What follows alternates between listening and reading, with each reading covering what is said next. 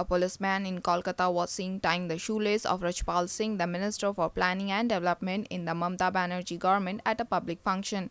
Rachpal was at the State Secretariat for a tribute to artist Ramkinkar Baij when his personal guard was seen tying his laces. The minister is a former Indian Police Service or IPS officer. Powered by NNIS.